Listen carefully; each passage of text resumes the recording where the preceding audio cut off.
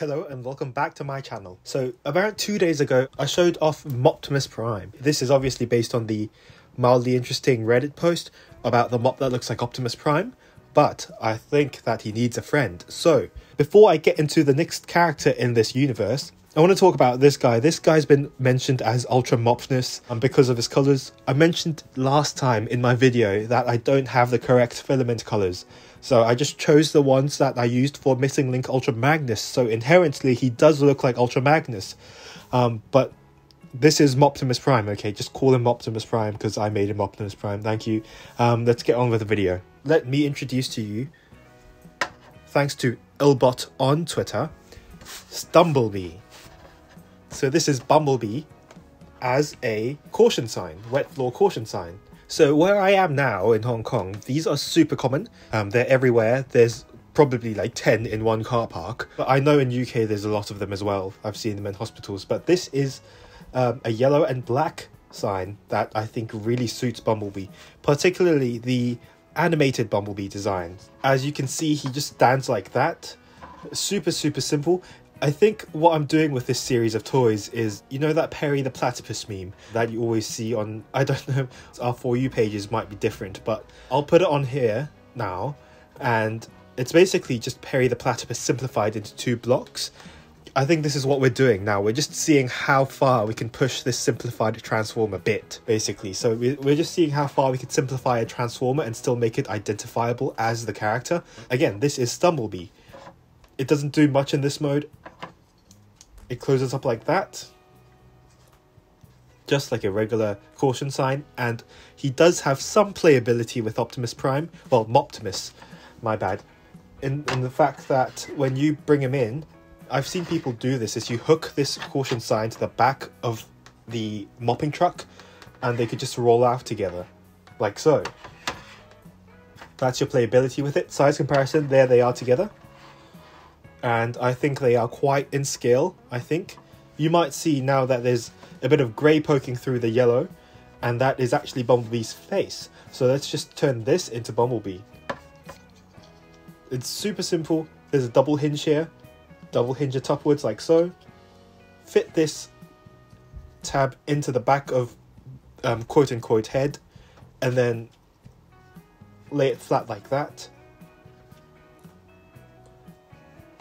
So you can sort of, if you can manage to get him to stand in this pose, then do it.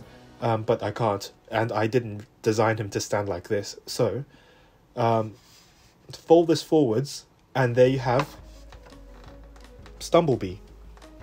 Again, as I mentioned, he is made to resemble the animated counterpart of Bumblebee. So here they are together in comparison. Um, let's put in the best Bumblebee toy from Animated as well. This is Hydra Dive Bumblebee. I think um, it was pretty smart of me not to pat my own back, but to make the um, the bottom of this Bumblebee's horns to make it super recognizable as Bumblebee, and you know this thing is meant to resemble that. These simple shapes, hopefully, you're able to make out that this is Bumblebee. I'm gonna put the files out for this soon. Um, it's super easy, so you just print this all supportless.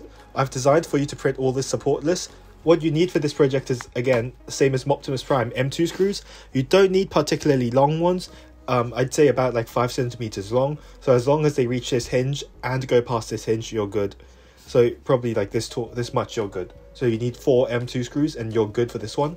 The sort of special part out of this is this piece where you have to print it sort of in two pieces. It's cut diagonally like this, as you can see. Um, it's cut diagonally um, like so. There's this hinge sticking out, so you can't lie this flat against the printer bed. I had to cut this in half diagonally. I printed this whole thing in 0.2 millimeter layer height, um, except for this top part, which is 0.15 millimeters layer height. But I'm sure that if you use a resin printer or a 0.1 millimeter layer height, you're able to get much cleaner results. I raised the wordings caution and wet floor and the exclamation sign upwards for one millimeter. So I was able to just get a Sharpie and just trace along the embossed areas. I was able to get fairly clean words and that um, person slipping. Um, I love this design, but let's transform Stumblebee back into his robot mode.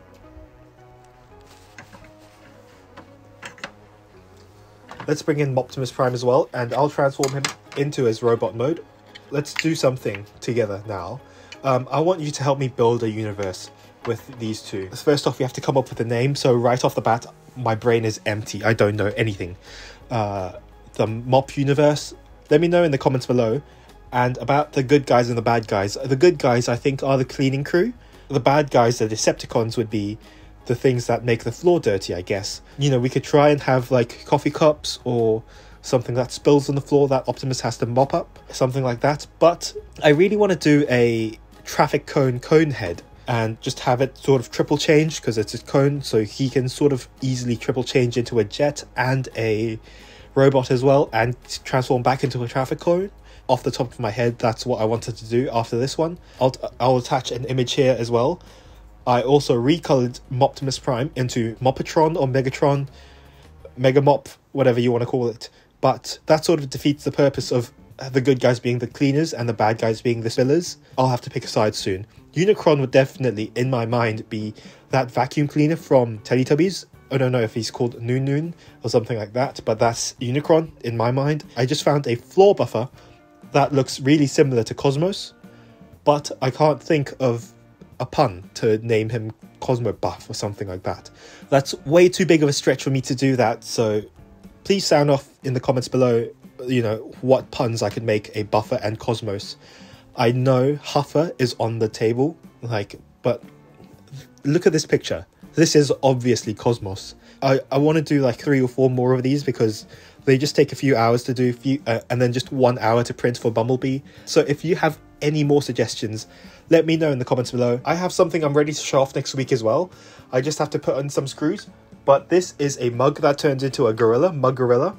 Um, I'm not going to transform him. You're going to have to tune in next week to see him. This could easily be turned into a barrel, and you know we can make something up with like Optimus Primal or something. um, Optimus Urinal, something like that. You know, turn this into a um, you know, a urinal, and then urinal, urinal. this has a gorilla face, so Optimus urinal. Um, but like, there, you know, so this mop universe has loads of possibilities. But let me know in the comments below what you think about the mop universe. Do you want to see more? There's the sort of the start of the mop universe, I guess, if I turn this white and everything. Um, Um, thanks for watching. Please check out my other videos as well. I'd really appreciate it if you subscribe. That's it for now. Stay safe and goodbye.